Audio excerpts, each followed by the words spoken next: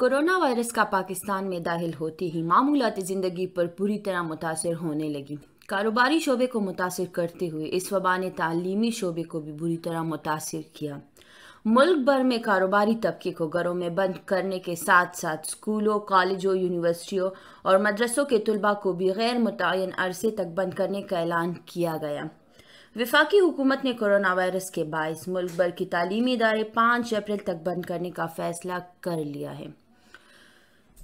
پاکستان سمیت corona virus سے متاثرہ دوسرے ممالک میں بھی تعلیمی ادارے کب سے بند کر دیے گئے ہیں؟ لیکن دوسرے ممالک نے تعلیم کا سلسلہ بند ہونے نہیں دیا، بلکہ انہوں نے آن لائن کلاسز کا آغاز کیا ہوا ہے۔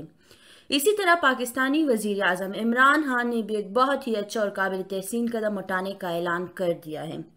حکومت پاکستان نے ٹیلی اسکول کا آغاز کا فیصلہ سنا دیا ہے۔ اس مقصد کے لیے پاکستان نیشنل ٹی وی پر ایک چینل بنایا جائے گا، جس پر گھر بیٹھے طلبہ اور طالبات اپنی تعلیمی سلسلے کو جاری رکھ سکیں گے۔ تعلیمی اداروں میں کرونا وائرس کی وجہ سے کی جانے والے تعطیلات کے دوران طلبہ اور طالبات کو اپنی تعلیمی سرگرمیاں جاری رکھنے میں مدد فراہم کرنے کے لیے۔ پاکستان ٹیلی ویژن نے ساٹھ گھنٹے کے نشریات کا اہتمام کیا ہے۔ آپ کو پھر سے بتاتے چلے کہ ٹیلی اسکول کا آغاز کرنے کے لیے معاہدہ طے پا گیا ہے۔ معاہدہ وفاقی وزرات تعلیم اور پاکستان ٹیلی ویژن کے درمیان طے پایا ہے۔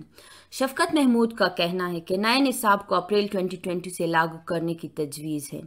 وفاقی وزرات تعلیم اور سرکاری ٹیلی ویژن کے درمیان طے پانے والے معاہدے پر باقاعدہ دستخط ہو گئی ہے۔ وفاقی وزیر تعلیم شفقت محمود نے معاہدے کی تصدیق سماجی رابطے کے ویب سائٹ پر جاری کردہ اپنے ایک پیغام میں بھی کی ہے۔ پاکستان تحریک انصاف سے تعلق رکھنے والے وفاقی وزیر شفقت محمود کا کہنا ہے کہ ٹیلی اسکول کا بنیادی مقصد ٹی وی چینل کے ذریعے اسکول کے بچوں کو روزانہ سات گھنٹے کے کلاسز دینا ہے۔ وفاقی حکومت نے کرونا وائرس کی وجہ سے جب تعلیمی داروں کے بندش کا اعلان کیا تھا تو اسی وقت یہ مشورہ دیا تھا۔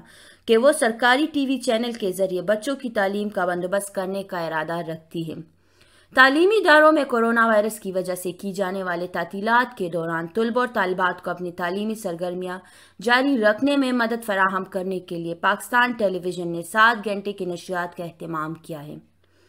نیوز کے مطابق، یہ بات وفاقی وزرات تعلیم کے اعلیٰ حکام نے وزیر اعظم عمران خان کو دی جانے والی بریفنگ میں بتائی۔ وزیر اعظم عمران خان کے زیر صدارت منعقدہ اجلاس میں ملک بھر میں یکساں نصاب تعلیم رائج کرنے کے حوالے سے اقدامات کا جائزہ لیا گیا۔ اجلاس میں وفاقی وزیر تعلیم شفقت محمود، وفاقی سیکرٹری تعلیم اور محکمہ تعلیم کے دیگر اعلیٰ افسران نے شرکت کی۔ نیوز کے مطابق اجلاس میں کورونا وائرس سے پیدا شدہ صورتحال پہ غور کیا گیا اور تعلیمی اداروں کی بندش کے دوران تعلیمی مواقع فراہم کرنے کے متعلق بریفنگ بھی دی گئی۔ وزیر اعظم کو بتایا گیا کہ وفاقی وزرات تعلیم نے پی ٹی وی کے ذریعے سات گھنٹوں کی تعلیمی نشریات کا اہتمام کیا ہے، جس سے طلباء گھروں پہ اپنی تعلیمی سرگرمیاں جاری رکھ سکے گی۔ وفاقی وزرات تعلیم کے حکام نے دوران بریفنگ بتایا کہ پوری کوشش کی گئی ہے کہ تعلیمی سرگرمیاں تعطیلات کی وجہ سے متاثر نہ ہو نہ ہی طلباء کا حرچ ہو۔ نیوز کے مطابق وزیر اعظم عمران خان کو بتایا گیا کہ پہلی سے پانچویں جماعت تک کے طلبہ کا متفقہ نصاب تیار کر لیا گیا ہے، جبکہ جماعت ششتم سے لے کر ہشتم تک کا نصاب یکم مارچ بیس بیس تک تیار کر لیا جائے گا۔